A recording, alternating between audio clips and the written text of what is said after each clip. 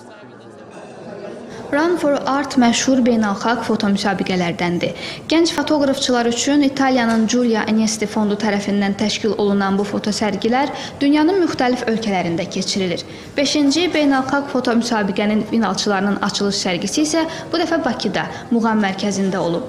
Milli Olimpiya Komitəsinin vitse-prezidenti Çingiz Hüseynzadə, qurumun baş katibi Azər Əliyev, Mədəniyyət naziri Anar Kərimov və İtaliya Milli Olimpiya Komitəsinin vitse-prezidenti Giulia Anesti fondunun idarə heyətinin üzvü xizəksürmə üzrə keçmiş Olimpiya çempionu Claudia Giordani də mərasimdə iştirak ediblər.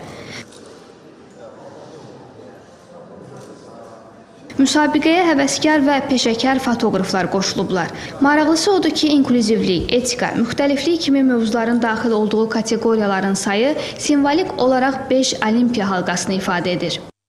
İncəsənət və idman. Bu iki bir-birindən uzaq görünən sahənin ortaq xüsusiyyətlərindən biri insan emosiyalarıdır. Bu sərginin keçirilməsinin əsas məqsədlərindən biri də fotolar vasitəsilə idman dəyərləri, incəsənət və incəsənətin idmanla əlaqəsini göstərməkdir. Tədbirdə 8 finalçının seçildiyi müsabiqənin qalibləri mükafatlandırıldı.